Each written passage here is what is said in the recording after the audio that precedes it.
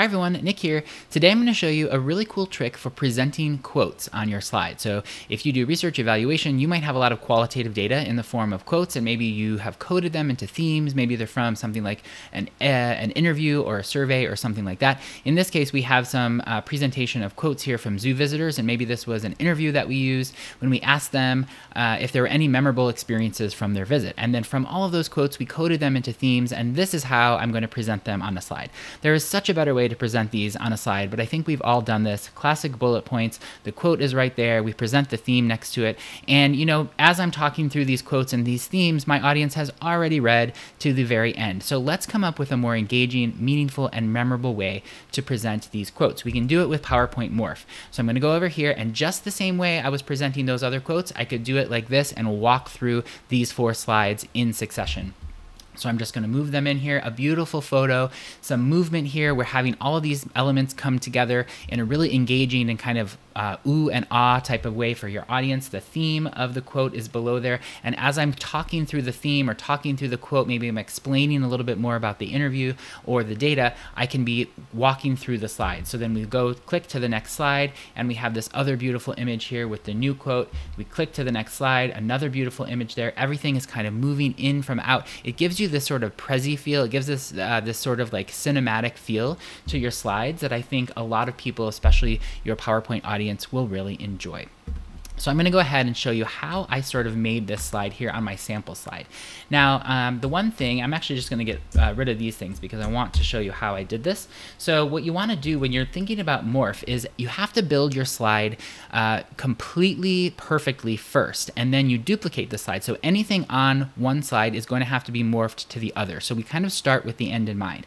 This is what I want my final slide to look like. So I'm going to position everything perfectly. I'm going to place everything perfectly, the picture, the quote icon, icon. This is just a photo that I got from PowerPoint stock images. This is just an icon that I got from PowerPoint uh, stock image. Remember, you can go up to the insert tab. You can insert photos, insert icons, all of that good stuff. You have a text box right here. It's a nice custom brand font that you would want uh, to present. Uh, it's also color coded to the quotation icon. And then I have this rectangle right here uh, which is also color coded and that gives me the theme of the quote. And that's just a rectangle shape that I inserted in PowerPoint. And remember you can just type inside any shape that you put in there and text will appear. You don't have to put a text box on top of any shape. You can actually type right inside of the shape. So what I'm going to do now is I'm going to duplicate this whole slide now that it's perfectly positioned. So control D to duplicate and I'm going to apply the morph transition to this second slide. So go to the transitions tab apply morph and there you go. Now you have this little star icon there in the bottom left. You can tell that a transition has been applied to that slide. Now on the first slide, this is where the magic happens. So on the first slide, I'm going to go back to it. I'm going to zoom out so that we see a lot of the pasteboard, this gray area off here. And we're going to start zooming things off the slide because we want them to come back in to that second slide. So what I'm going to do here is I'm just going to drag this off here to the left. And when I do that, that's, that's going to tell Morph on the second slide, it's going to have this this photo zoom in from the left of the slide. The quote mark I want to kind of come in from the top in a, in a diagonal fashion. The quote I want to come in over here from the right, and then the physical size or the theme box I want to come in from the bottom. So I'm just going to put that here. Now nothing is on that slide, but when I push uh, slideshow mode, let's test it out and see how it looks. I'm going to advance the slide and now everything comes exactly where I wanted to, it to be and it gives you that really nice transition. So if you had a single quote on your slide, this is a great way to present it. Now, if you wanted to go to the next slide and have that additional layer of movement, I'm going to show you how I did that and thought through that. And you can do these steps sort of in succession uh, as for as many quotes as you want to present. So right now I'm on the second slide and remember anything that I want to go on to the next slide, I have to put on this slide first so that I duplicate it. So what I'm gonna do is I'm gonna uh, duplicate this photo and then I'm gonna change it to a photo that I want uh, just to kind of change it to. We'll just go from any random stock image here. I think I had like a lizard. I just typed in lizard there. We'll type in this one or we'll click in this one. And then it changes that photo with that picture. And then for the quotes,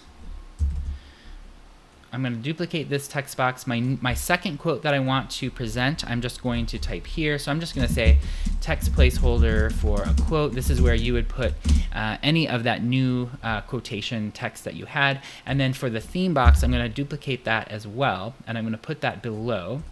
And I'm just going to say new theme. So it's a placeholder there for this text. Now everything here is on the slide that I want to be on my second slide. So what we're gonna do is duplicate this slide, Control D. Now everything is there on this slide. Now on this side, I'm going to move everything to how I want the morph sequence to finish.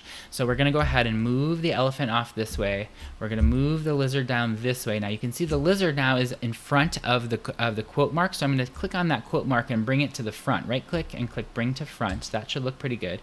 Then the quote uh, box here, I'm gonna move up. And then this text placeholder, I'm going to move to the left.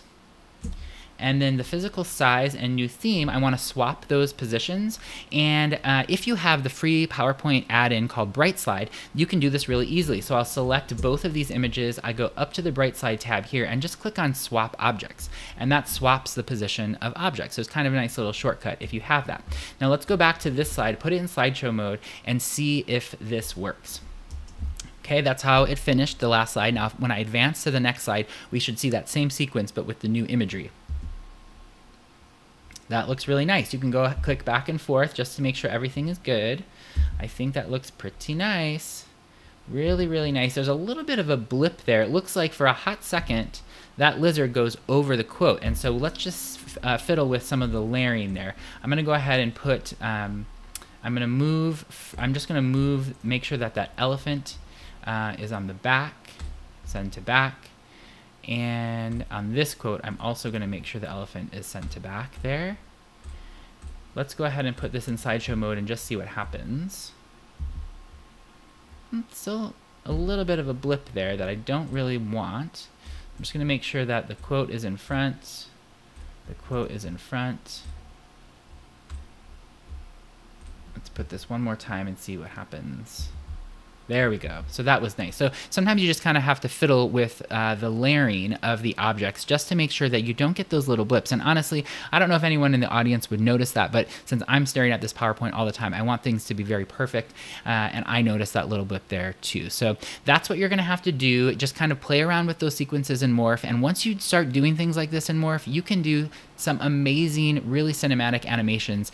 Uh, and I think this is a really nice way to present quotes in a very engaging, meaningful, and memorable way for your audience. So if you use this technique, I hope you'll comment below and let me know how it goes. I think your audience will really appreciate it.